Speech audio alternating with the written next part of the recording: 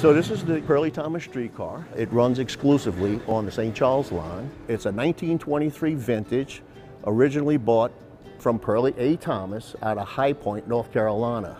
The original price, uh, purchase price on this one was $15,000 at the time. From 1923, we still have the electric motors. It's a, it's a GE, General Electric motor. Same trucks, same body. Now, over the years, we did do some fabrication changes. We went away from the wood doors and the window sills being wood. We went with the metal.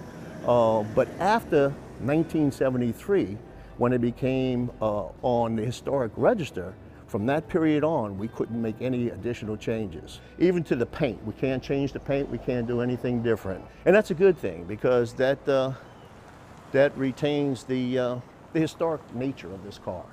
It's part of New Orleans. So this is the interior of the, uh, the St. Charles streetcar. Um, as you can see, we use a lot of mahogany, and all these seats are fabricated here at the Carrollton Barn.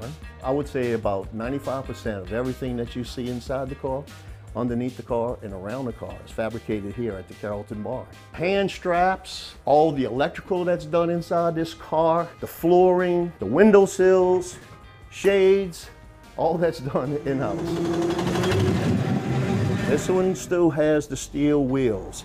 This one still has the clankety clank, the clankety clank. It still runs with an air compressor.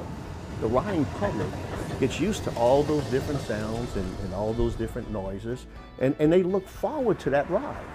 St. Charles Street Cars, totally, totally iconic to New Orleans.